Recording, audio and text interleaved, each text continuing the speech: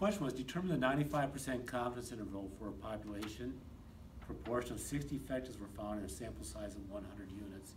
And I gave the z-score, z is equal to one point nine six.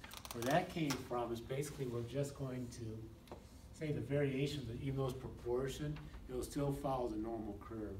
So we need, uh, two point five percent there, two point five percent there, or one point nine six.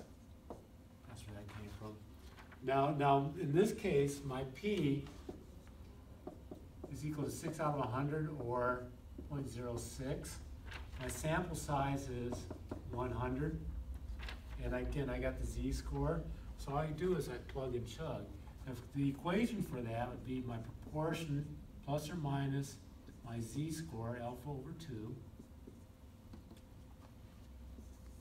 Square root of p, one minus p, all that over n, take the square root of that. So that'd be 0.06 plus or minus one point nine six. Square root of, uh, or p would be 0.06. One minus 0.06 divided by one hundred.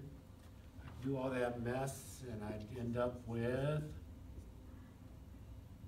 0.04654, or I do the math, take p minus that, 0.0135,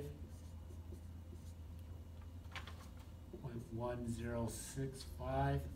Now what this is, this is the, I can be ninety-five percent confident that the actual proportion, based on this hundred percent sample, or hundred piece sample, is somewhere between 0.0135 and 0.1065.